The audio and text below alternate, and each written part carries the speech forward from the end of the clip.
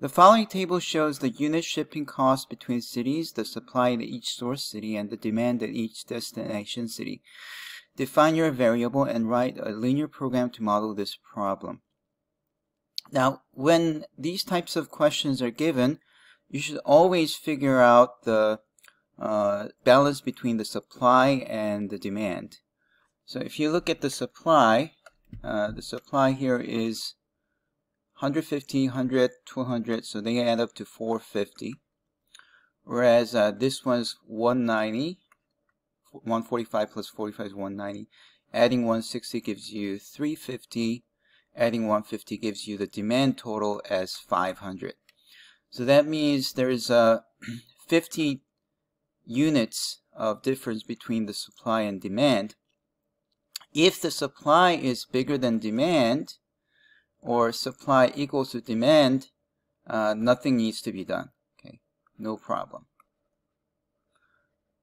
However, if the supply is less than demand, then you need to have a dummy factory,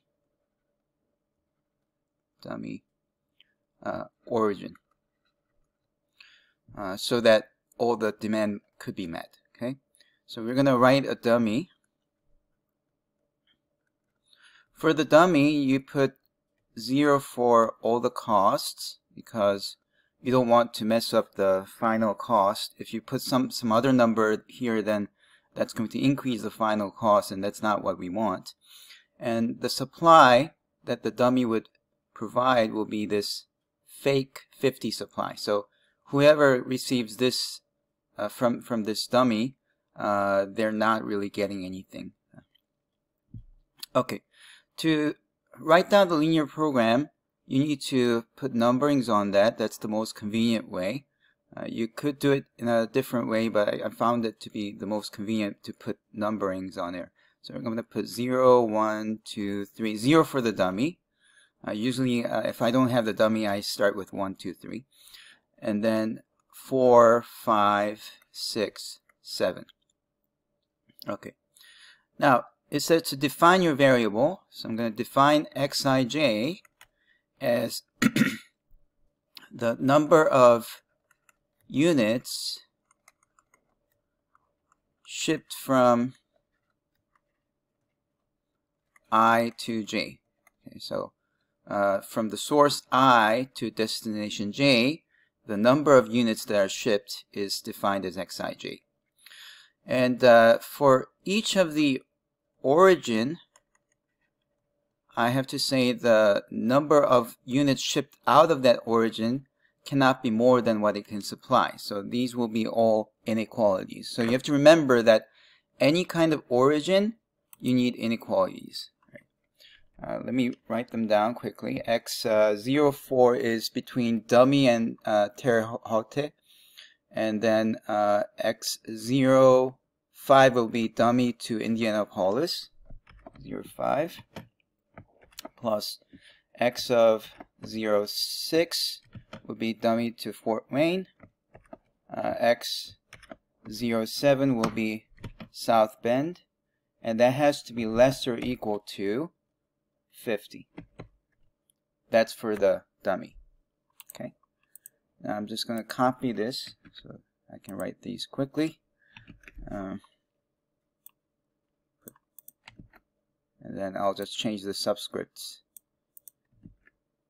Um, now for the St. Louis, it's all 1 to 4, 1 to 5, 1 to 6, 1 to 7, so all these subscripts has to be changed to 1.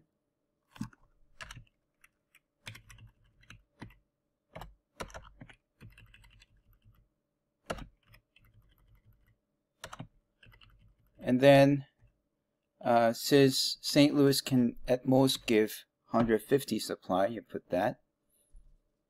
The next one is Evansville.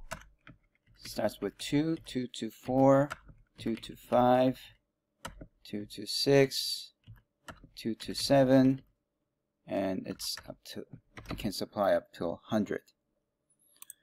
Then it's Bloomington, Bloomington to Terre, Haute. Uh, Bloomington to Indianapolis. Okay, keep going, and then until on the right side you you can you can supply at most 200. It says 200 here. Okay, so those are the inequalities for the origin. Now, for the destination, well, the destination ones requires uh, all the incoming units, uh, everything that's shipped to, to that destination to equal to its demand. You don't want to have less than the demand or more than the demand. It has to be equal to demand. Okay. Uh, so uh, from dummy to Terre Haute will be 0, 4. And then 1 to 4. So this is for Terre Haute. So Terre Haute should receive from 4 places, 4 origins, and it has to add up to 150. So it has to add up to 150.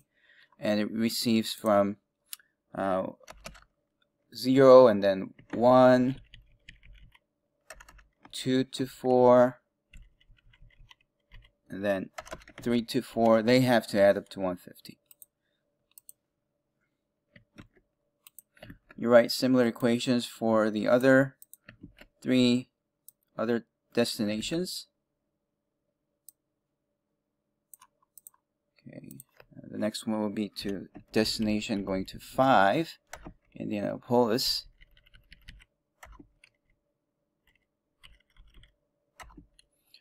and it has to add up to 160 this time as you can see uh, the demand for Indianapolis is 160 six six six six and then for that one Fort Wayne 145 then 7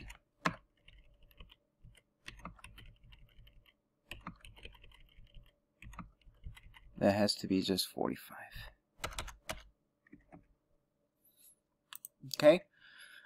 Um, you also need to add that xij is non-negative somewhere. I usually put them right after I define the variables. xij should be non-negative.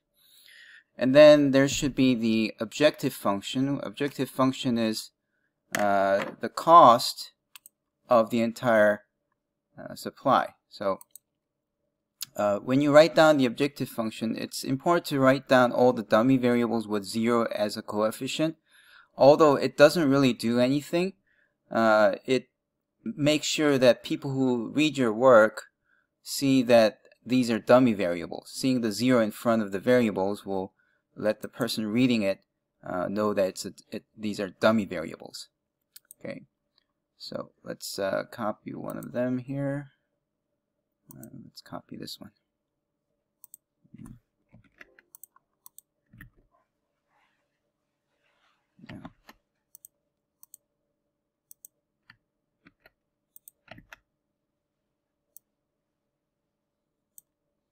Okay, so x04, x05, x06, x07. These are all dummy variables. They have 0 as their coefficient. And then plus, we have these. And these have the coefficient 8, 6, 12, 9. So I'm going to put those. 8, 6, 12, 9. Okay. Then next one.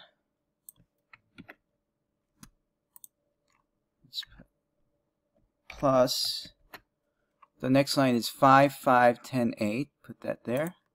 5 5 10 8 and the last one these. And 3, 2, 9, 10.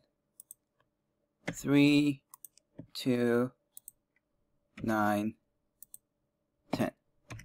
Okay, let's just see why this, this should be the objective function. For example, uh, if you ship something from Bloomington to Indianapolis, that's 3 to 5, it should have a coefficient of 2. 3 to 5, x3, 5 should have a coefficient of 2. So this does, this objective function does represent uh, this, this table. Now, I forgot to say that uh, the goal, your goal is to minimize this. So let's write down minimize.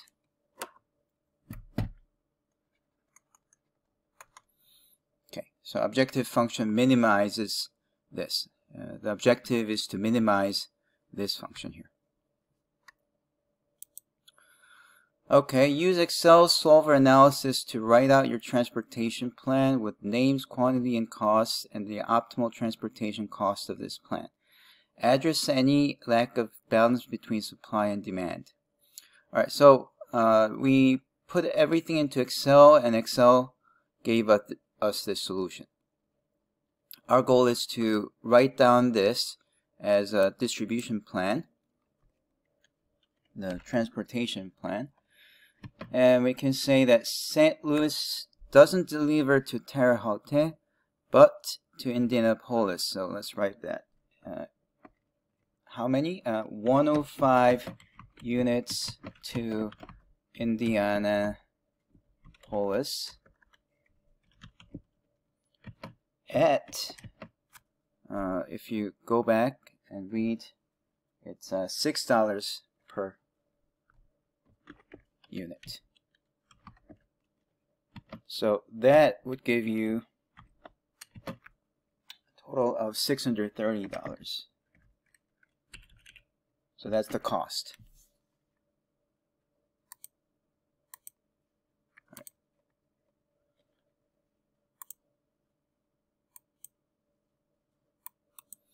Continuing on, we have uh, St. Louis delivers 45 units to South Bend at $9 per unit. And if you multiply 9 times 45, that gives you $405. Okay, let's look at Evansville. Evansville delivers to Terre Haute only five units, right?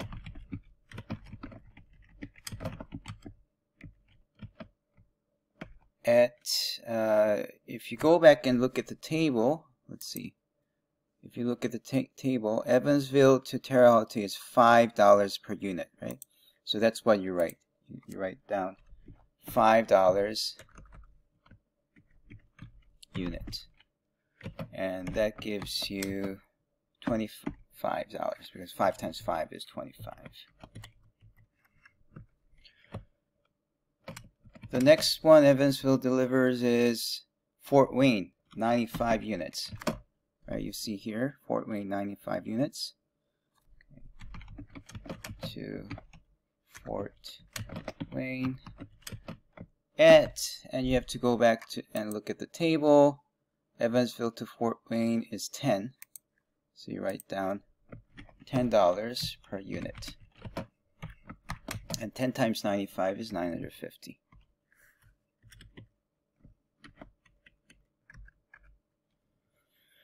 Bloomington delivers 145 units to Terre Haute at um, it's $3 per unit.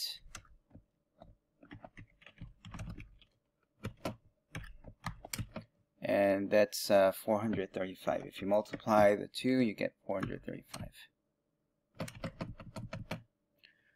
Then you have uh, 55 units to Indianapolis at $2 per unit, which is $110. Now, if you add up 630, 405, 25, 950, 435, 110, if you add everything, then you can get the total optimal transportation cost as uh, 250 $2,555. Now, it also said address any lack of balance between supply and demand. And remember that uh, there was a 50 dummy variable, right? Uh, and if you look at here, you see that slack 50 is here, which means that Fort Wayne will not receive the 145 it requested. See, in, originally, if you look at Fort Wayne, it's asking for 145. But if you look here, uh, the cell value is only 95, meaning that uh, instead of receiving 145 requested, it will only get 95. So you should write that too. So,